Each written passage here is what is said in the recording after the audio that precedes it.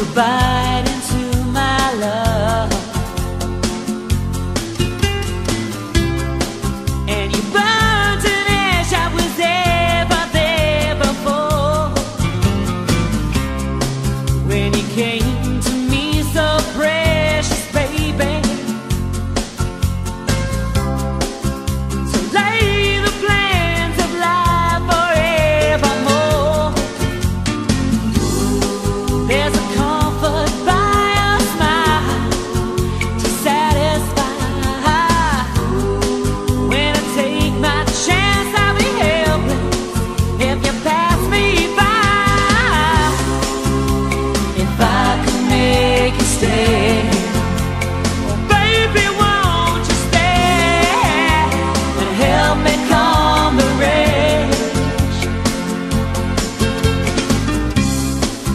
the cross I had to bear.